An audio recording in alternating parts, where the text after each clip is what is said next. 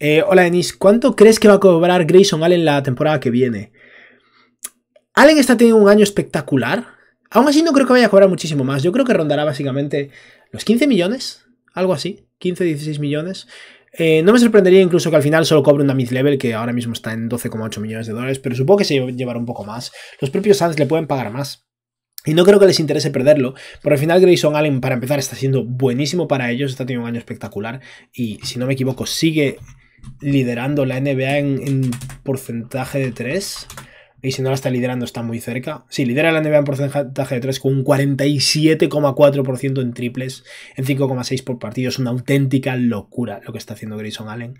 Y mm, al final, como los Suns van a ser un equipo caro, un equipo que va a estar por encima del impuesto de lujo, no va a tener flexibilidad para pagar a otros jugadores. Sobre pagar un poco a Grayson Allen, si su propietario está dispuesto a, gastar ese dinero en, en impuesto de lujo, es la mejor opción para luego mejorar tu plantilla, porque puedes utilizar su salario o primero, puedes beneficiarte del jugador, pero a largo plazo tienes un salario intercambiable. Si tú pierdes a Grayson Allen en un equipo como Phoenix, no lo sustituyes, es la realidad.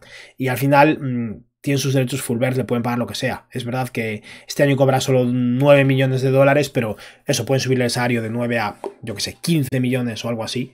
Y creo que es más o menos un poco el rango que rozará o rondará.